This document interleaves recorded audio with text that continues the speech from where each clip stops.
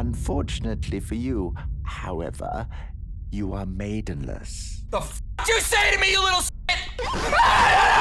you shut up when I'm talking to you! You shut your mouth! Hello, friends. My name is Dante, and today I tried to beat Elden Ring with nothing but my fists. Maidenless runt. I commend your spirit, but alas, none shall take the throne. The rules are simple. I can only use my fists. Summons are not allowed. Multiplayer is not allowed. Magic, Ashes of War, if it's not my fists, it's not allowed. No buffs and no items either. Everything was against me. I didn't know it at the time, but I was about to spend the next 70 hours in complete agony. There are 13 bosses I have to get through before I have the right to call myself Elden Lord, and each one is more difficult than the last. 13 bosses to get through in the lands between. Each and every one is terrifying. Some seem to be able to have infinite combos, while others are able to crush people with just a flick of their wrist. We have Margit the Fell Omen, Godrick, the Red Wolf, Rennala, Godfrey, Morgott, Fire Giant, the Godskin Duo, Maliketh, Hoarah Radagon, and the Elden Beast. Will I be able to do it? And most importantly, will I be able to find myself a maiden by the end of this? Let's find out. So I began my long journey inside an unwelcoming cave that reeked of death. I didn't know how I got there or what the hell was happening. I just knew I wanted to get out of there. The path seemed straightforward enough at first. I didn't know if the guy was hostile or friendly, so I decided the best way to find out was to plunge my fist deep into his unguarded prostate to see how he reacted. Apparently he didn't like that very much. The fight began. At least, I think it was a fight. I was only doing 2 damage per punch, so it was more of a tickle fest than anything. As I made my way through that disgusting cave, taking a full minute to kill each enemy for a measly 11 souls each, I came across my first fellow human. I was so relieved until he started trying to kill me. Why? After finding out that this guy was pretty well invincible, I got out of there. This whole place was creeping me out and I had had enough. Soaked in my enemy's blood, I walked through a wall of mist and came across yet another fellow human being who wanted me dead. It seemed his death was my key out of the place until the battle began. I couldn't believe my eyes when I realized just how little damage I was dishing out to the first boss of the game, yet when he got a good hit off on me, it took away a quarter of my health. Death after death after death after death. My brain was reaching its limit. I couldn't do it. This guy was way too overpowered. And then finally, I did it. My heart rate was through the roof and the adrenaline coursing through my veins gave me the symptoms of an Alzheimer's patient, but I freaking did it, boys. I got through the tutorial. I was feeling great. Elden Ring was easily a 10 out of 10 and I knew my money was well spent. And who's this? A man who wasn't trying to kill me on sight? You are maidenless. The fuck? Now, it was clear to me that my bare fists weren't gonna cut it. I didn't feel like spending 7 hours on every single boss, and it wasn't against the rules to seek out more efficient ways to become Elden Lord. As I pondered what I was gonna do, I came across Lord Philip for the first time. This guy was a real sweetheart. He was full of good advice and was even willing to sell me goods and services for the souls I collected on my journey. Lord Philip let me know that there was a special class of weapon called fist weapons that gives one the ability to do more unarmed damage. Getting my hands on some of these would be crucial to my success. But I only accepted weapons that actually looked fist-like. For example, the guitar or the veteran's prosthesis? Sorry, but duct taping a kitchen knife to your wrists doesn't all of a sudden make that unarmed combat. No, my limits were that as long as you could look at something and be like, yeah, I'd call that a fist weapon, I was good to go. So at the end of the day, I decided I'd only be using the spiked Caestus and the Star Fist. The only problem was I didn't know where these things were. As I sat there pondering what to do next, Lord Philip called me over. Turns out, there were actually some decently strong fist weapons in the northeast, nestled somewhere in the lands of Caelid. The Lord had a cousin there who sold many trinkets, and among those was a single spiked Caestus ripe for the picking. I thanked him for his generous advice, marked the location on my map, and began the seemingly short adventure.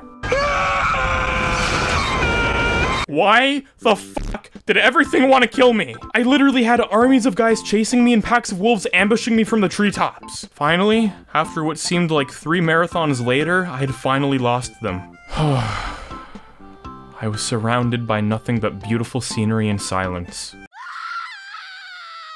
Oh? Is that a maiden I hear? It was time to go into Prince Charming mode. I climbed the mountainside, spun around, and found my super hot princess. Huh? Hello? Anyone? Bamboozled again. At first I thought it was a trap, but turns out it was literally just some guy stuck in a hole. He asked me to slap his ass as hard as I could to get him unstuck, so I went to work. Smack after smack, groan after moan, and the lad still hadn't even budged. I was about ready to leave, but the guy begged me to continue. Uh, he seemed to be enjoying this a little too much, but after one final uppercut, he was finally freed. He declared total allegiance to me henceforth, and my good deed for the day was complete. Yeah, I didn't know what the hell was happening either. I continued on to the east, avoiding everything the best I could. I eventually made it to the land of Caelid. Now, all I had to do was find Lord Philip's cousin. Ah, there he was. Wait a minute. Yeah, the spiked Caestus wasn't cheap.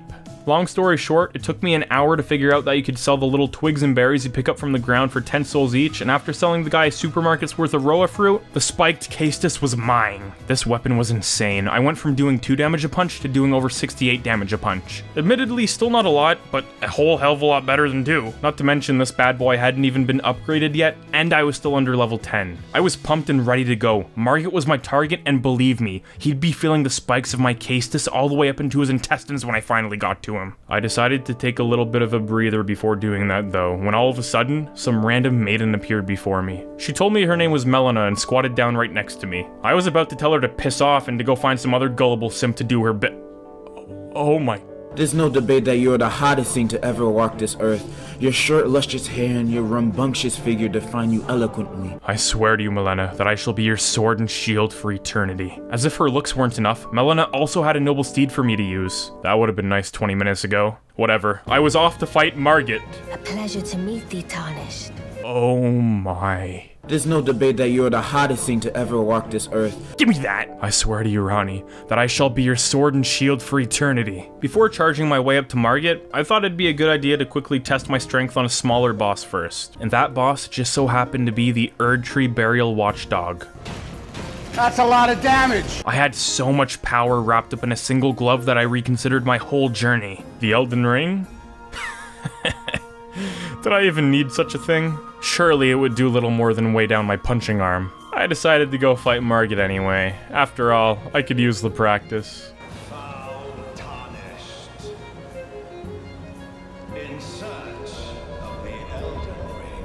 Yeah, that's right. Want some, soy boy?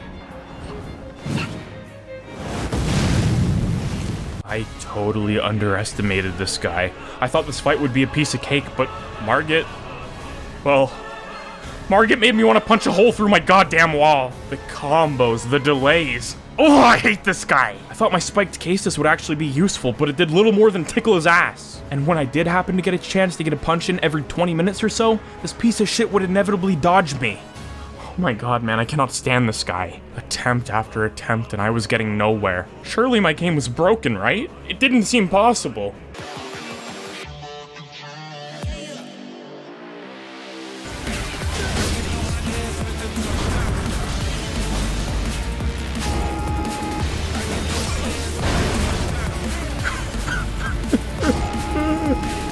I can't fucking do it, man. I quit.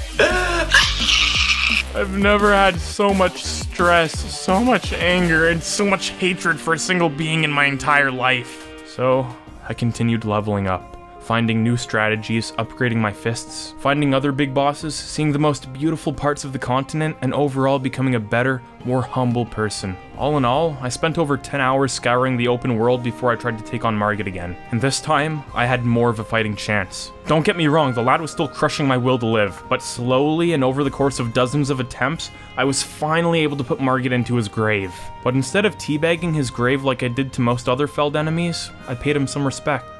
Just kidding, fuck that guy! It was time. Time to speedrun my way through to the end of the game. Surely Margit was the final boss, right? I mean, how much bigger can the map get?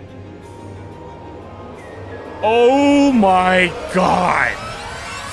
Yeah, I still had a long way to go and was pushing 14 hours of playtime. Oh boy. Next on the hit list was Godrick the Grafted. I was having a good old time slapping this freak around when all of a sudden, the guy swung at me even though I was behind him, obviously missed, hit his own arm, and then proceeded to cut it off. This guy was batshit crazy. Anyway, would you believe me if I told you I beat him my first try? It's true. I guess I was still fired up from that whole Margit situation. After Godrick passed away, his body gifted me the grafted Dragon Fist weapon, but because it wasn't the Starfist, I threw that thing in the trash. That's two great enemies felled, only 11 left to go. So of course, in my spare time I went around upgrading myself, exploring caves, defeating dragons, and getting more flasks and maps. At one point, I even killed six bosses in one hour, which I was pretty proud of. Of course, the game was still excruciatingly difficult, but I really felt like I had a rhythm going and I was happy with my progress. At this point, I decided that upgrading my fist weapon was a way to go. I wasn't having a super difficult time, but the pitiful amount of damage I was doing was starting to get to me. I began Operation Starfist. This weapon was waiting for me in the capital, and apparently it was just sitting on some dead body ripe for the taking. Easy, I thought. No problem at all. That was wrong. No matter which way I went, no matter what secret path I thought I had found, nothing seemed to work.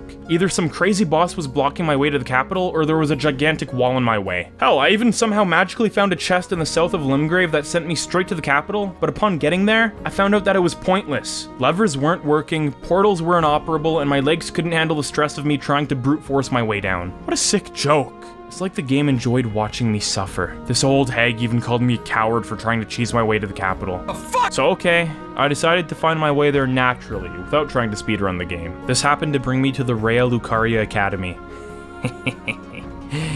I was hoping to find some cute wizard girls in the School of Witchcraft and Wizardry. No, no, no, wait, whoa. Of age wizard girls, like McGonagall, okay?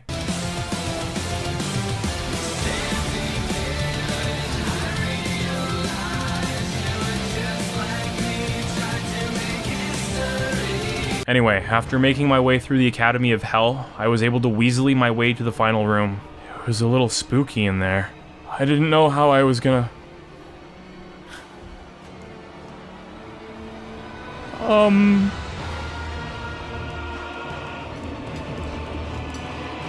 Yeah, yeah, so anyway, I left. I was there looking for cute wizard girls like Hermione, okay? Not weird slug girls. For the first time in my life, I began slapping women around without feeling bad about it. But it was odd. Ornella's health bar was still full. I didn't know what I was doing wrong, but clearly I had to think of something quick. That's when I noticed something. The slug girls that were singing, when I started beating them into submission, Ornella's crystal bubble began to shatter. Oh! So I continued targeting the creepy ones that sang until Rennala fell to the floor, and then I began smacking her around. She was surprisingly resilient and took the beating like a champ, but once I got her to her second phase, she became more of a problem. Now, I'm not gonna lie, I struggled with Rennala's second phase a lot. I didn't quite understand her patterns, and I also felt like my health and flasks weren't quite up to par, not to mention the puny amount of damage I was doing. I spent a good 30 minutes on her before I decided it was time to move on. As I made my way through Liurnia, I heard tell of a way to get the Grand Lift to work. In fact, it was very simple. I only needed two pieces of a medallion to get it moving. So I took the Grand Lift to the capital outskirts, ran around on my horse panicking for the next 20 minutes as everything tried to kill me, and made it to the outer wall of the city. If I could just slip my way in there, I'd be able to grab the Starfist, upgrade that baby to the max, and then I'd feel confident enough to take on Rennala and the rest of the demigods. The only problem was the bouncer in front of the club. If I wanted to get into the city, I'd have to beat him first. Now this guy... This guy was harder than most other bosses in the game, at least for me. His phase 1 was easy enough. In fact, throw me in front of any boss on horseback and I'll beat them first try. It's his second phase that kept getting me. This man would all of a sudden become Thor and start aimbotting me with his lightning. I just couldn't seem to get the timing down in order to dodge his attacks, and because he'd usually one-shot me, this was a real risky fight. One slip-up and I'd be done for. I must have tried this fight over a dozen times before eventually reaching my limit and giving up. I was so close to making my way into the city, and yet this final obstacle barred my entry. I wasn't quite ready to face him yet, but I had faith I could beat him if I got a little more training in, so I was off to see Ranni. She had a lot of good advice for me, and we chatted the night away. You see, she wanted to overthrow the tyrannical Golden Order to bring about the Age of Stars. She believed this would, in turn, give freedom to all living beings in the lands between. Of course, she had made progress on the stream over the years while relying on people like Blaidd, the Half-Wolf, and War Counselor Iji, but she had recently hit a roadblock.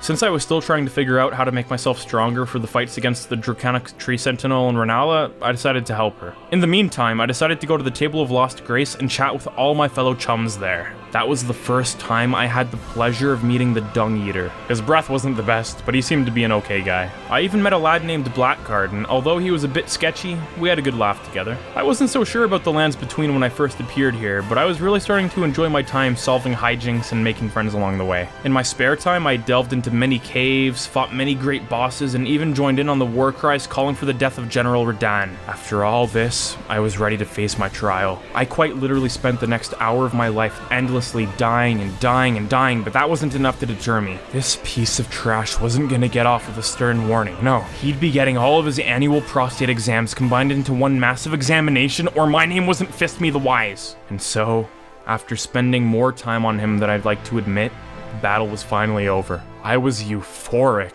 It was finally done. My mom always said life was like a box of chocolates. You never know what you're gonna get.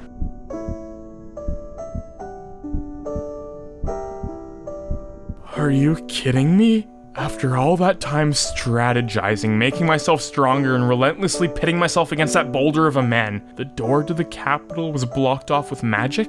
It seemed the only way to get through the magical barrier would be to kill a demigod. So I went back to Raya Lucaria, beat up a whole school of women, and defeated Rennala my first try. I didn't let her get off that easy though. Before she died, I gave her a free prostate exam. Right up there! Yes! I was high on the fumes of victory and charged my way back to the capital. The only thing on my mind at that point was the Star Fist. This would be the weapon I'd be using until the end of the game, so I was pretty excited to see how it would perform in a fight. And there it was. It was so beautiful. Oh, the colonoscopies I would perform with this would be marvelous. I immediately fast traveled over to Iji, used all the smithing stones I had saved up since the beginning of the challenge, and admired those mouth-watering stats. 153 plus 43 damage. I didn't know what the 43 meant, but those were both bigger numbers than two, so I was happy. You guys know how it is. For the next couple hours, I went around different areas finding better armor, upgrading my flasks, and continued making myself stronger. At this point, I must have beaten at least 50 bosses, so I felt pretty good about going up against Godfrey. Surprisingly, I didn't find him that difficult. Sure, I died a few times, but his fight actually felt fair to me. Not too hard like Margit, but also not too easy like Godrick or Rennala. Five bosses down, eight to go. Here, my heart dropped. I was to face Margit again. I cannot stress how much I hate this guy. I keep seeing around the internet that people actually found this guy easy. What drugs are you on? This fight almost broke me. Infinite combo into infinite combo, magic attacks into dagger throws. I felt like I could never get a good hit on him. Eventually, though, I started to understand his patterns and worked on whittling down his health until he was defeated. Oh, thank God. What I was about to cross into was the highest difficulty spike I'd ever encountered in any game the mountaintops of the Giants. I felt like I was back to level 1. Like, why are these birds so difficult? And why are there so many bosses casually walking around like they're some kind of easy small enemy? Oh god. Oh, why did I buy this game? Yet again, I decided that instead of trying to force my way through to the end of the game, I'd spend some more time in the lands between trying to get stronger. I was still under level 100, so it wouldn't hurt to boost my stats a little. So without wasting too much of your time here, I defeated Radahn on my third try, yeah, I don't know what happened either. Conquered Nokron, fought the Regal Ancestral Spirit, successfully fought the Twin Gargoyles after nearly throwing my goddamn controller through the wall, absolutely demolished Fia's champions, got some new drip, plowed my way through the Lake of Rot, beat Astel, though I found him extremely difficult, and finally decided to do my best to make Ranni's dream come true. To make a long story short, I had to do a lot of subtasks like flipping the Carian Study Hall, uh, defeating the Shade of Blaidd, and acquiring the Dark Moon Ring from Rennala. It was this ring that, after a long, long journey, finally brought Ranni and I together. I was no longer maidenless. Thank you, thank you, thank you. But then, Ranni abandoned me on our wedding day. My heart was shattered. It was game time. I began my conquest of the mountaintops, and this time, I felt ready. Enemy after enemy fell to my feet, begging for a quick death, and I granted every single wish. Nothing could stop me. I defeated the fire giant on my very first try, witnessed Melina being a complete badass, and started to regret marrying a literal doll instead of a human girl, cried myself to sleep over how difficult the Farum Azula was, and eventually made my way to the Godskin duo. These guys almost made me quit the challenge. Now, I know what you're saying.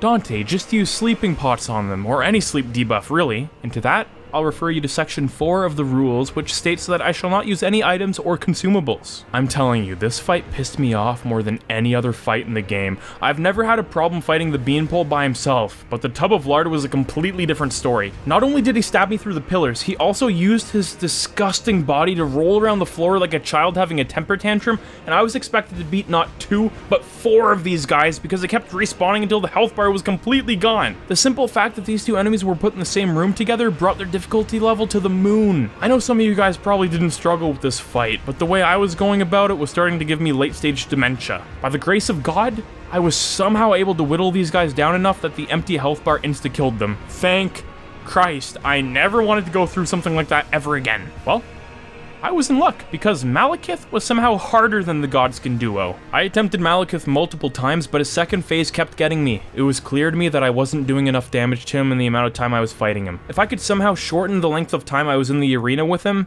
aka do a lot more damage in a shorter period of time, I could actually just tank most of his hits and send him to Valhalla before he even knew what happened. I began doing research. How could I make myself even stronger than I was?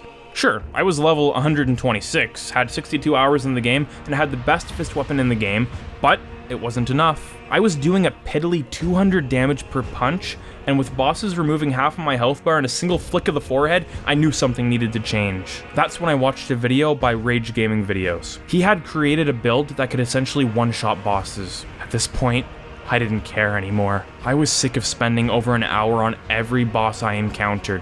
I wanted the bosses to fear me. I wanted Maliketh to kiss my feet and thank me for it.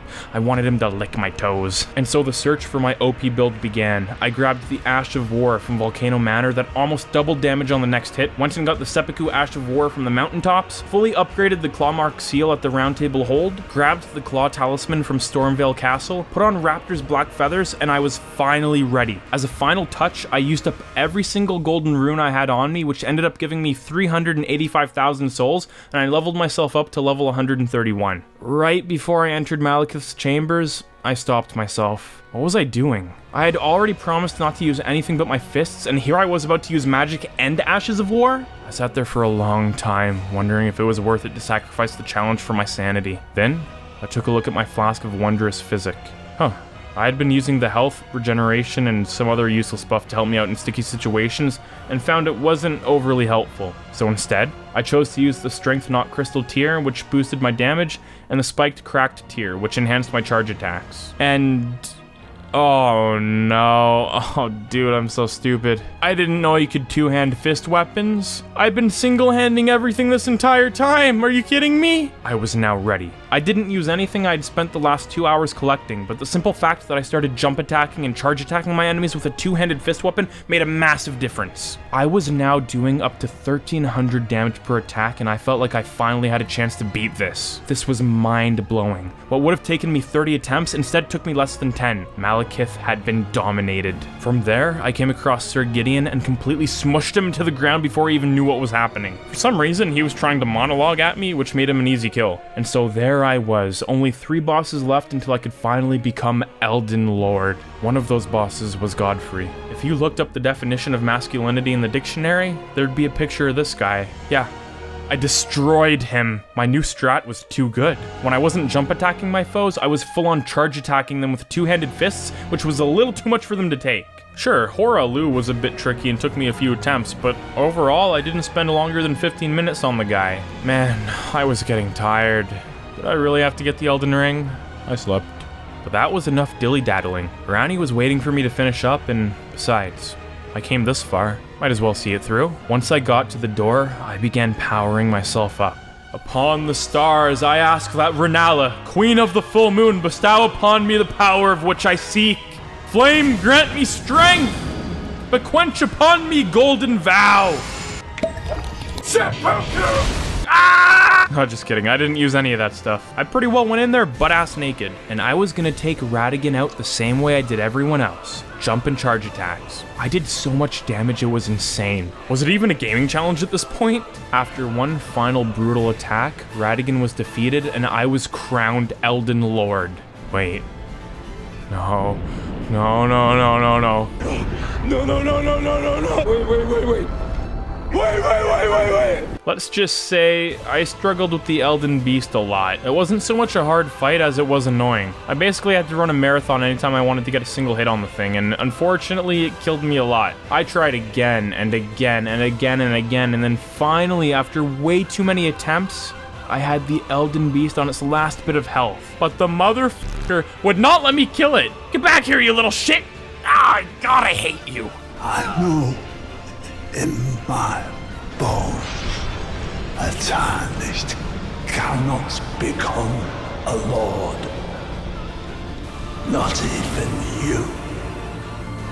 Every boss that needed to be defeated was done so by my hand, and I was suddenly teleported back to the Erdtree. Of course, there was only one ending that guaranteed me a maiden, and I chose it instantly. Ranni appeared before me, told me that the Age of Stars was now upon us, and pledged herself to me for all eternity. And there we have it. With a total playtime of 69 hours, I beat Elden Ring fist only without using any summons, multiplayer, items, buffs, magic, or Ashes of War. If you guys enjoyed this video and want to see some more Elden Ring videos, click the like button and let me know in the comments down below what other challenges I could try. Thanks for watching, check out all the other gaming challenges on my channel, and I'll see you thick boys in my next video.